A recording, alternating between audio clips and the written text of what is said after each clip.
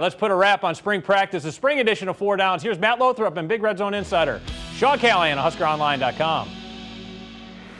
For first down, we're going with Greg McMullen. Sean, how big of a departure is this from the Nebraska defensive line? Well, I think it's a huge loss because Greg McMullen was a stabilizing force there in the middle. He had started 26 consecutive games on Nebraska's defensive line. I thought he was going to be a guy that was going to maybe be a captain, somebody that we'd see even at Big Ten Media Days in Chicago.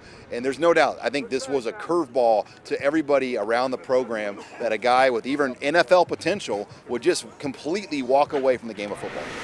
Tommy Armstrong, 200 yards through the air and on the ground, including one touchdown. The quarterback position as a whole, give me the good, give me the bad. I, I, like how they really worked in the running game. I think Mike Riley realized we have to have a running element. They studied a lot of NFL stuff with Teddy Bridgewater. They looked at Cameron Newton stuff with the Panthers. They really worked in that run game stuff, and I thought that was probably the best plays we saw in the spring game. Now, as far as the passing game goes, uh, I still think there's some inconsistency, but I think a lot of the uh, success Nebraska is going to have through the air is going to be dictated by the success they have on the ground.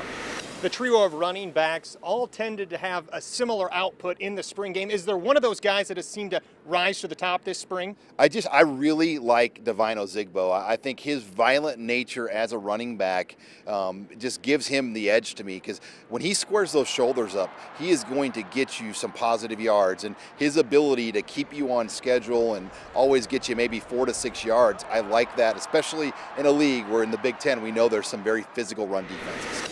Spring football now in the rearview mirror. Fall camp will be here before we know it. What are you going to be watching for this fall? Well, I think the theme of this team to me will be winning on the road. When you look at the schedule, Matt, the home games, Nebraska is going to be a decisive favorite in almost all of them other than the Oregon game. I mean, that's the one, obviously, that's a toss-up. But you look at the road schedule, at Northwestern, uh, at Iowa, at Wisconsin, at Ohio State.